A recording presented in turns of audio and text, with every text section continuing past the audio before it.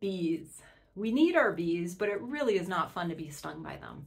So this is what I use when patients have had an incidence or uh, have been stung by either a bee or really any type of insect or critter. So if you think about what happens when we get stung, the, the tissue gets inflamed. You might notice some redness, some itching, burning, puffiness. When it's so puffy, it might even be shiny.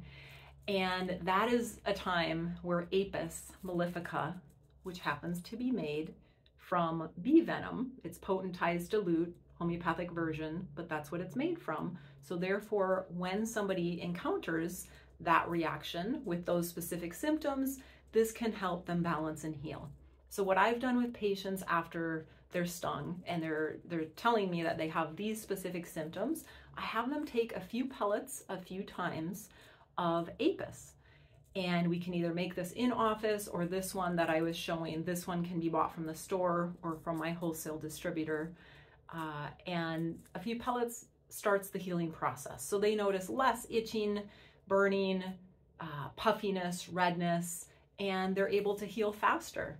So that's one of many homeopathic remedies to have in your first aid toolkit.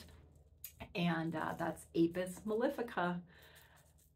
Comment below if you tried this or if you have any other questions.